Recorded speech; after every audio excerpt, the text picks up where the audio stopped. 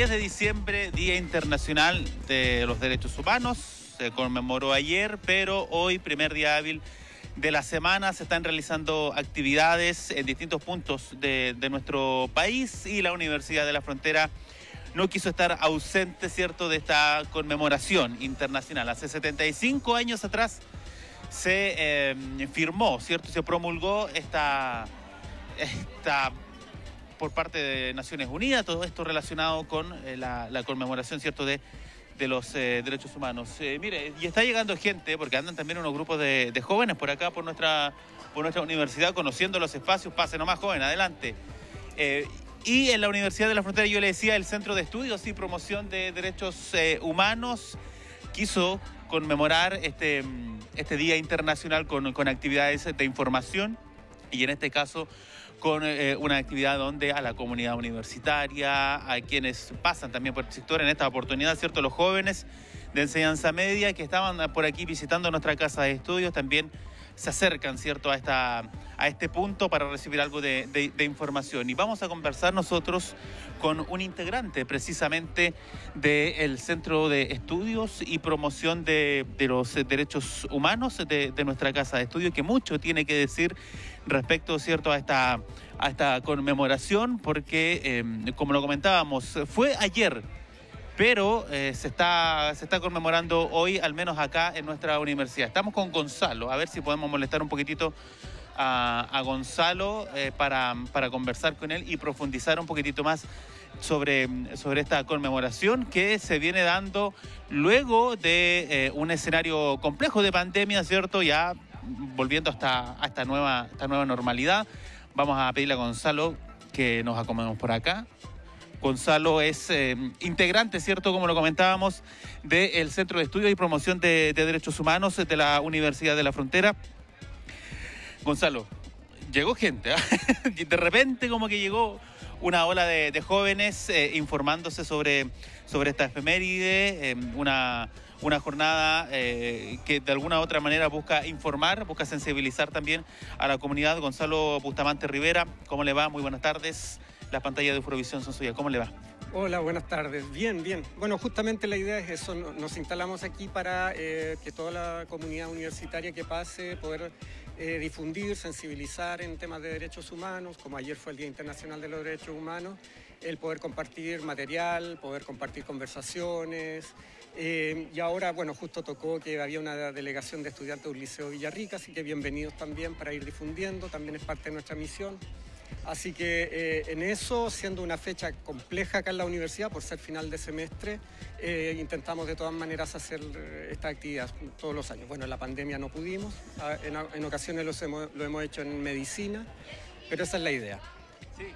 Bueno, ¿cómo se vive ¿no? esta conmemoración eh, a 75 años de la promulgación precisamente de, de, los, de los, derechos humanos?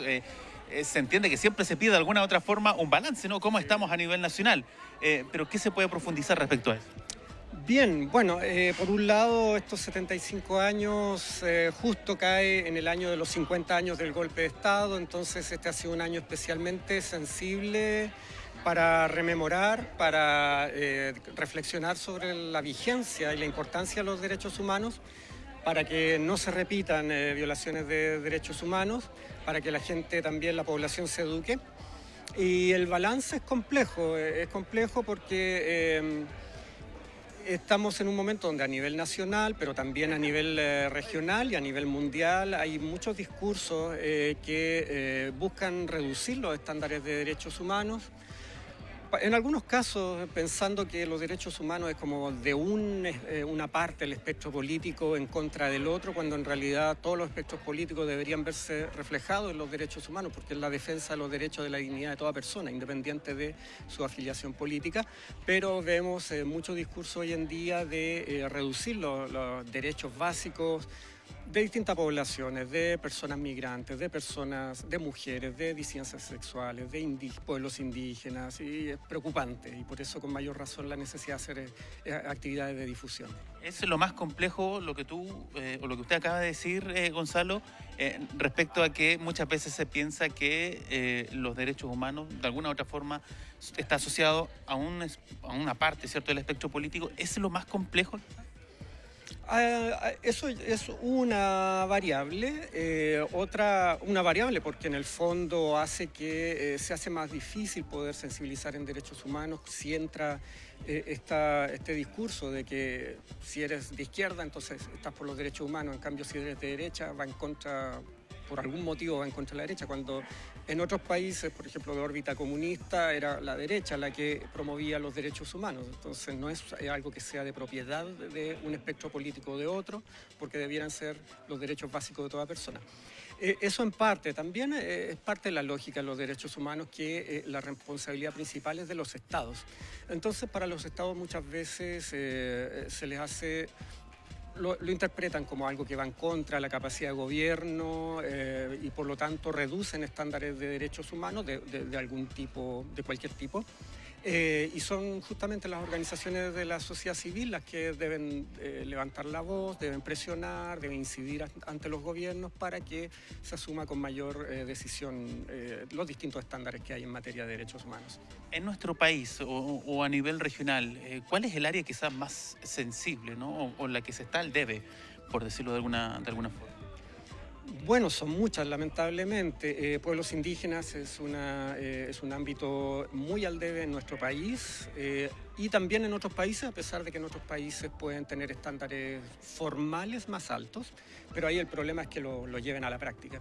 Pero también en materia de derechos de personas de disidencias sexuales, por ejemplo, eh, combatir contra la homofobia, no, no, discriminar arbitrariamente por el, género de una persona, contra las mujeres también es, eh, hay, eh, los derechos también estamos muy al debe, hay mucha inequidad todavía.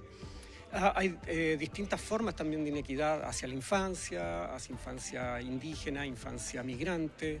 La situación de los migrantes hoy en día en Chile es un tema álgido y eh, en, una eh, necesidad de regular el tema de la migración, la preocupación es cuando esa regulación pasa por reducir los estándares de derechos humanos.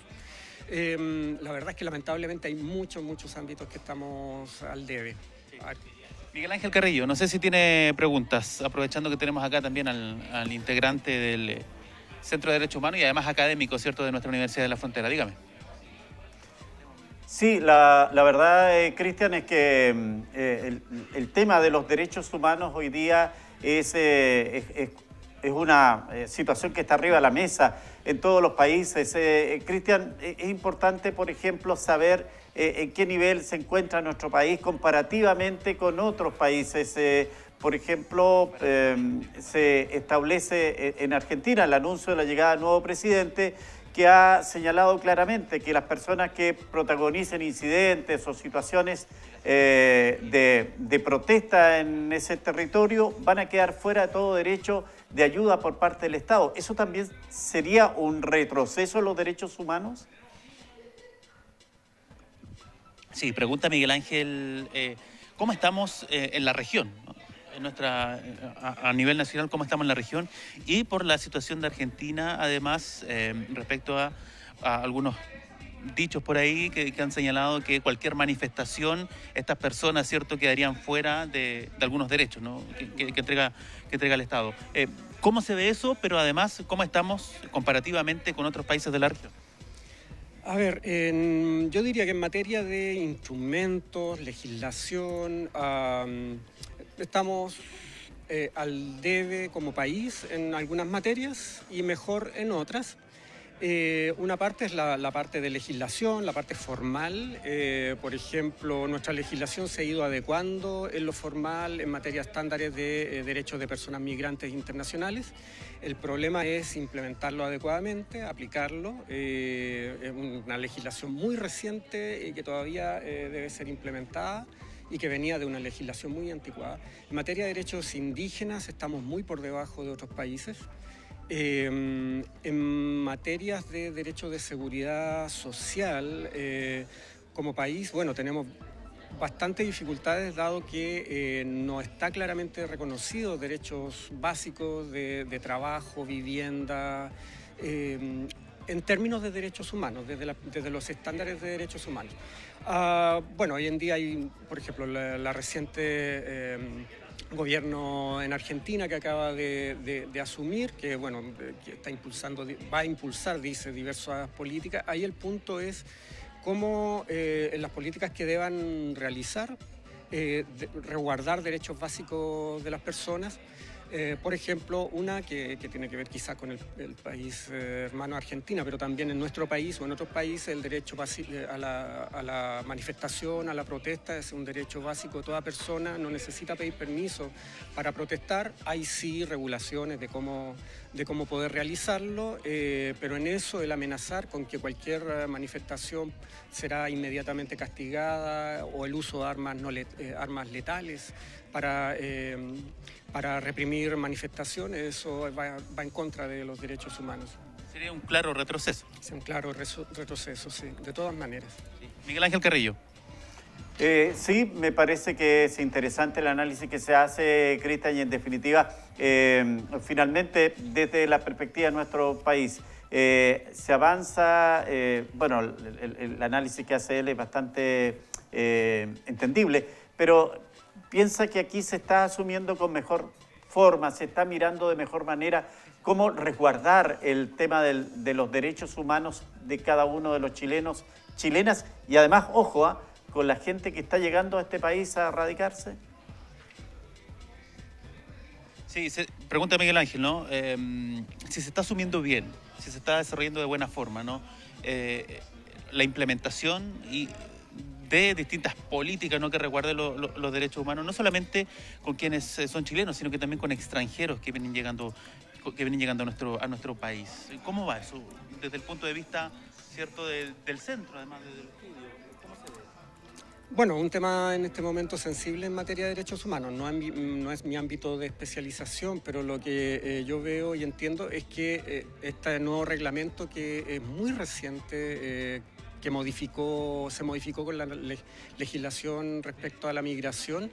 Eh, en términos formales está más acorde al derecho internacional, a los instrumentos de derechos humanos, pero como digo, es una modificación muy reciente eh, que hay que ver cómo se va a implementar y por otro lado está atravesada por presiones políticas de diverso tipo que no siempre son acorde a estándares de derechos humanos. Entonces, en ese sentido, eh, es uno de los ámbitos que es muy sensible de que se vulneren derechos humanos en nombre de regular la migración. Y el tema es que eh, todo Estado, digamos, tiene derecho a regular eh, la migración, pero la migración también es un derecho. Y, en ese sentido, no cualquier cosa se puede hacer para regular la migración. Hay, hay límites y eso es lo que preocupa de si se va a respetar o no.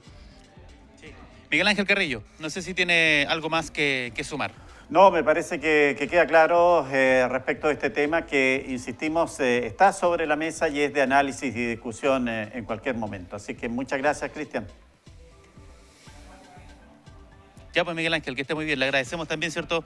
Acá a Gonzalo Bustamante Rivera, integrante del Centro de Estudios y Promoción de Derechos Humanos de nuestra Universidad de la Frontera y además académico de nuestra Casa de Estudios. Muchas gracias. Muchas gracias a ustedes. Que tengan un buen día y que recuerden y sensibilicen en materia de derechos humanos. Gracias.